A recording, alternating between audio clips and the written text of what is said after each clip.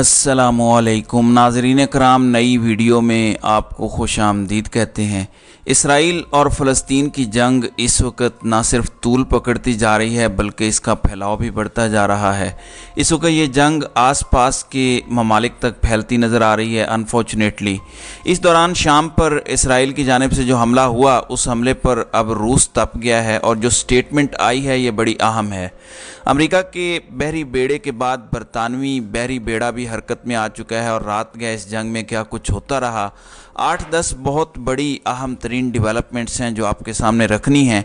और हमारी कोशिश है कि इसराइल फ़लस्तीन जंग के हवाले से जो हम कवरेज कर रहे हैं, उसमें क्रेडिबल इंफॉर्मेशन आपके सामने रखी जाए, जो मल्टीपल सोर्सेज से कंफर्म की जाए और इंटरनेशनल मीडिया आउटलेट्स अरब media outlets even Israeli media outlets सबसे ख़बरें क्रॉस चेक करके जो रियल ऑन ग्राउंड सिचुएशन है, वो आपके सामने रखी जाए।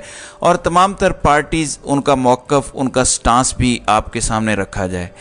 नादन कराम एक जानब, कल मैंने आपको बताया था कि सफ़ेद फास्फोरस के बम इस्तेमाल किए जाने के हवाले से कुछ कुछ खदशात थे कि इसराइल ने ये इस्तेमाल किए हैं। अब ह्यूमन राइट्स वॉच जो आलमी तंजीम है, उसने इसराइल की जानब से गज़ा और लुबनानी सरहद पर हमलों के लिए ममनुआ सफ़ेद फास्फोरस बम इस्तेमाल किए जाने की तस्दीक कर दी है। ह्यूमन राइट्स वॉच ने कहा है कि इसराइली फ़ौज की जानब से लुबनान और गज़ा पर हमलों के लिए ममनुआ फास्फोरस बमों का इस्तेमाल किया गया, जो कि बड़े पैमाने पर आम लोगों की ज़िंदगियों को ख़तरे में डाल देते हैं। सफ़ेद फास्फोरस के बारे में कहा जाता है कि ये एक ऐसा कीमियाई हथियार है जो बड़े पैमाने पर तबाही मचाता है। ये एक ऐसा कीमियाई हथियार है, जिसे बमों, रॉकेट्स और आल्ट्री शेल पर फैलाया जाता है और ये मादा उस वक्त जलता है जब इसका सामना ऑक्सीजन से होता है। इसके कीमियाई रद्दमल से 815 डिग्री सेंटीग्रेड हरारत पैदा होती है, जिससे गाढ़ा सफ़ेद धुआँ और रोशनी बनती है, जिसे फ़ौजी मकासद के लिए इस्तेमाल किया जाता है। जब इंसानी जिस्म पर यह मादा पहुँचता है तो इंतहाई खौफनाक ज़ख़म बनते हैं।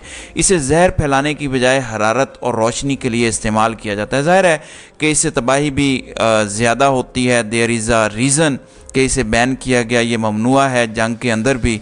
लेकिन इसके इस्तेमाल किए जाने की अब ह्यूमन राइट्स वॉच जो है वो तस्दीक कर रहा है। वहीं दूसरी जानब गज़ा पर इसराइली बमबारी से शहीद फ़लस्तियों की तादाद 1570 हो गई है, जबकि ज़ख्मियों की तादाद 7200 से भी तजावज़ कर चुकी है। गज़ा पट्टी पर इसराइली बमबारी की वजह से अढ़ाई हज़ार मकान तबाह, जबकि तीस हज़ार से जायद मकान को जजवी नुकसान पहुँचा है। इसराइली बरबरीत में बेघर होने वाले फ़लस्तियों की तादाद तीन लाख अड़तीस हज़ार तक जा पहुँची। दो लाख बीस हज़ार फ़लस्तनी अकवा मुतहदा के स्कूलों में पनाह लेने पर मजबूर हैं, जबकि एक लाख फ़लस्तनी अपने अजीज़ों और गिरजा घरों में रहने पर मजबूर हो चुके हैं। गज़ा में हस्पतालों में ज़ख्मियों के लिए बिस्तर और दवाएँ कम पड़ चुकी हैं। बिजली बंद होने से वेंटिलेटर्स चलाना चैलेंज हो चुका है। ये सब कुछ वहाँ पर हो रहा है। एक पूरा इंसानी बहरान सर उठा चुका है। वहीं दूसरी जानब कुछ दीगर बड़ी डेवलपमेंट्स हैं। फ़लस्तीन की मुजामती तहरीक हमास के रहनुमा साले अल अरवी ने इनकशाफ किया है कि अमरीका, फ़्रांस और दीगर मुल्कों के शहरी इसराइली फ़ौज की वर्दियाँ पहुँच पहन कर जंग में शरीक हैं। अरब मीडिया को इंटरव्यू देते हुए हमास के रहनुमा ने कहा कि जंगजुओं को सिर्फ़ फ़ौजी अहदाफ और फ़ौजियों से निपटने का हदफ दिया गया था। हमले के दौरान गज़ा के आम शहरी भी मुसल्ह यहूदी आबादकारों पर टूट पड़े। उन्होंने कहा कि इसराइली फ़ौजी क्यादत और अहलकारों ने अपने शहरीों को बचाने के लिए कोई मुदाखलत नहीं की। उन्होंने कहा कि हमास इसराइली शहरीों और यरगमालियों के साथ आलमी कवानीन के मुताबिक कार्रवाई का पाबंद है। हम अमरीका और फ्रांस समेत ऐसे तमाम ममालिक से कोई उम्मीद नहीं रख रहे। हमास रहनुमा ने इंकशाफ किया कि अमरीका, फ्रांस और दीगर मुल्कों के शहरी इसराइली फ़ौज की वर्दियाँ पहन कर जंग में शरीक हैं, जबकि यरगमाल बनाए गए बहुत से इसराइली फ़ौजी अमरीकी और फ्रांसीसी शहरी निकले हैं। उनका कहना था कि फ़लस्तीन तमाम मजाहब और नस्लों की सरजमीन समझी जाती है। फ़लस्तीन में तमाम मजाहब के मानने वाले सदियों से एक साथ ज़िंदगी बसर कर रहे हैं। ख़त्े फ़लस्तीन सदियों तक जंगी, मजहबी जंगों से पाक रहा, मजहबी शिदत पसंदी की दाग बेल मगरब ने डाली। तो ये मौक़ उनका इस वक्त सामने आया है। दूसरी जानब, इसराइली फ़ौज ने गज़ा का वस्ती इलाका खाली करने के लिए 24 घंटों का अल्टीमेटम दे दिया है। बरतानवी खबर रसा एजेंसी के मुताबिक अकवा मुतहदा से कहा गया है कि वादी गज़ा से तमाम फ़लस्तियों को जनूबी हिस्सों में मुंतकिल कर दिया जाए। इसराइल की धमकी से मुतलिक अकवा मुतहदा के तर्जुमान का कहना है कि इसराइली धमकी की जद में तकरीबन 11 लाख फ़लस्तनी आते हैं जो गज़ा की निसफ आबादी है। ऐसी कोई नकल मकानी तबाह कन इंसानी असरात के बगैर मुमकिन नहीं है। अकवा मुतहदा के मुताबिक बेघर फ़लस्तियों की तादाद चार लाख तेईस हज़ार तक पहुँच चुकी है। आज दो लाख से जायद फ़लस्तियों के पास सोने की जगह नहीं है। गज़ा में जन्म लेते इंसानी अलमियत से निपटने के लिए बीस लाख फ़लस्तियों को फौरी इमदाद की ज़रूरत है। तो ये ऑन ग्राउंड सिचुएशन है। अब मैं ज़रा आपको बता देता हूँ कि इंटरनेशनली क्या कुछ चल रहा है। नाजन कराम अमरीका का सबसे ज़्यादा सोफिस्टिकेटेड और बहुत बड़ा बहरी बेड़ा जिसमें न्यूक्लियर रिएक्टर्स हैं, जिसमें लातादाद दर्जनों के हिसाब से एफ़ थर्टी फाइव जहाज़ उड़ सकते हैं। इस खत्े के अंदर एक बड़ा ये मैसेज दिया गया है। दूसरी जानब बरतानिया ने भी फ़लस्तीन के ख़िलाफ़ इसराइल की मदद के लिए अपनी रॉयल नेवी के जहाज़ भेजने का ऐलान किया है। गैर मुल्की मीडिया के मुताबिक बरतानिया निगरानी का इदारा तैयारा और दो रायल नेवी के जहाज़ मशरकी बहरा रोम भेजेगा। इसके अलावा अमेरिका ने इसराइल छोड़ने के ख्वाहिशमंद अपने शहरीों के लिए आज से खसूसी परवाज़ों का ऐलान किया है, जिसके लिए अमरीकी वज़ीर दिफा आज इसराइल पहुँचेंगे। इसके अलावा तनाज़ा फैलने से रोकने के लिए अमरीकी वज़ीर खारजा एंटोनी ब्लिंकन का दौरा मुकम्मल हो चुका है और वो उर्दन पहुँचे हैं।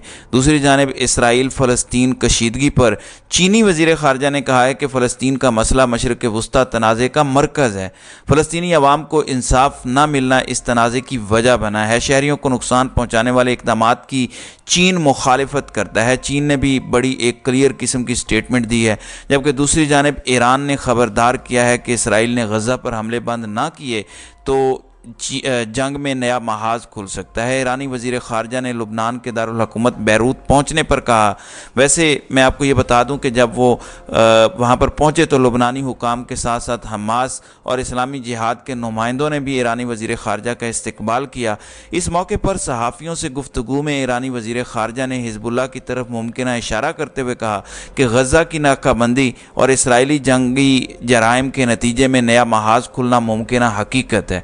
वहीं दूसरी जानब हमास के फ़ौजी तर्जुमान अबू उबैदा ने खबरदार किया है कि अगर इसराइल ने ज़मीनी हमला किया तो उसकी फ़ौज को निस्तो नाबूद कर देंगे। इसराइल पर हमलों की वीडियो जारी करते हुए हमास के फ़ौजी तर्जुमान ने दावा किया कि जंग के आगाज़ पर ही इसराइली फ़ौज का गज़ा डिवीज़न तबाह कर दिया गया है। हमास के फ़ौजी तर्जुमान ने कहा कि अलकुदस के तहफ़ के लिए ऐसी मज़ीद कार्रवाइयों का फ़ैसला कर लिया गया है। अबू उबैदा ने मज़ीद कहा कि ऑपरेशन अलक्सा फ्लड में तो से ज़्यादा कामयाबी मिली थी और हमास मुजामती क़वतों के साथ रबते में थी। दूसरी जानब गज़ा में जंग बंदी के लिए आलमी बरदरी मुतहरक है। अमरीका, सऊदी अरब, ईरान मुतहदा अरब अमारात, तुर्किया और उर्दन ने जंग बंदी के लिए सफारती कोशिशें किसी हद तक शुरू की हैं।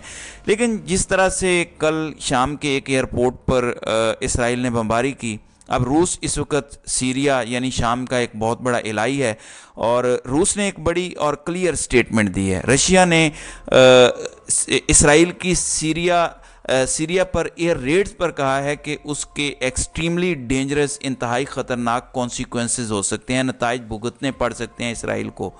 रूस ने कहा कि इसराइल के एयर रेड्स ने सीरिया की खुद मुख्तारी सोवरेनिटी और आलमी कवानीन की धजियाँ उड़ाई हैं और इससे मशरक वस्ती के अंदर ख़तरनाक किस्म की जंग आगे बढ़ेगी एस्किलेशन होगी।